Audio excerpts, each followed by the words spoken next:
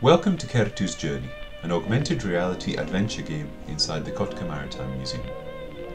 The aim of the project is to provide a different and engaging museum experience. The visitor is encouraged to walk through the exhibition, to find and scan details of photographs on display, which will allow him or her to progress in the game narrative. The first image, shown here, is a detail from a picture located within the museum. This is also the basis for our first scene. Our application recognises the image, which starts the visitor's journey. Upon scanning the woman's face, the visitor is introduced to our protagonist and the setting of our story. The scene begins with a dialogue between Kerttu and her father, which lays the basis for her character.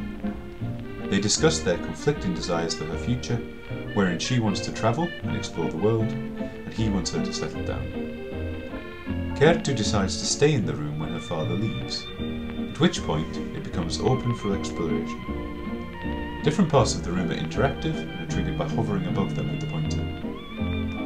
After a bit of searching, the visitor finds a love letter in the vase of flowers, which when activated appears on the screen for the visitor to read. After reading the letter, we return to the map. The story progresses as the boat moves to different harbours, and the map scene informs the visitor of the next clue they need to find, in this case a coffee cup. This detail is contained in another photograph, which like the first will become interactive once scanned.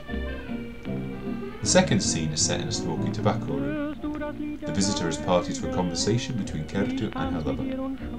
The lover is shown to be unsympathetic to Kerttu's plans and ideas, at which point the user can influence the story by choosing if Kerttu stays or departs from the scene. This particular game mechanic will have a major impact as the story progresses.